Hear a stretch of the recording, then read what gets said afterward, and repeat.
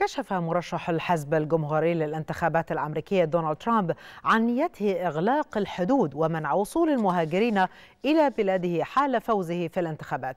فيما واصلت المرشحة الديمقراطية للانتخابات الأمريكية كاملا هارس في تجمع انتخابي في بنسلفانيا هجومها على ترامب مشيرة إلى أنه يثير قضايا لا تهم الأمريكيين. يواصل مرشحا الرئاسة الأمريكية الجمهوري ترامب والديمقراطية هاريس جولاتهما الانتخابية في سباق مع الزمن لكسب مزيد من الأصوات. ولا يزال ترامب يتمترس وراء قضية الحدود والهجرة مستغلا قلقا شعبويا أمريكيا من معدلات الهجرة. ترامب في تجمع انتخابي في لاس فيغاس وهي إحدى الولايات المتأرجحة وصف نفسه بأنه سيكون رئيس الحدود. That's why 53 days from now we're going to tell Harris بدءا من اليوم الأول سأغلق الحدود وأوقف غزو المهاجرين. سننفذ أكبر عملية ترحيل للمجرمين في تاريخ الولايات المتحدة.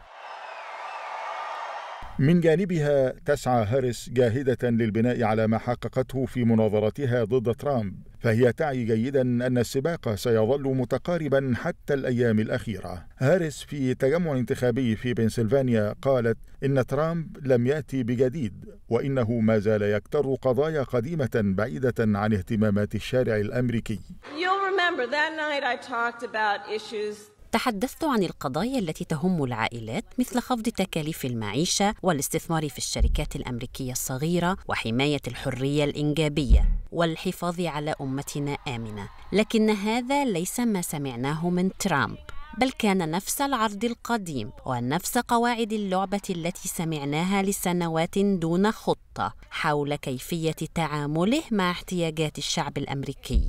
حان الوقت لطي الصفحة. The same tired playbook هاريس تلعب على وتر خلفيتها الاجتماعية لتؤكد لجمهور الناخبين أنها لن تنسى ابدا الطبقة الوسطى التي نشأت فيها وأنها تمثل جيلا جديدا في السياسة الأمريكية. ويجمع خبراء المناظرات الرئاسية الأمريكية على أن الانتصارات في المناظرات الرئاسية لا تعني بالضرورة الفوز في الانتخابات وهو ما يستلزم من المتنافسين الرئيسيين العمل حتى آخر دقات الساعة قبيل يوم الصمت الانتخابي.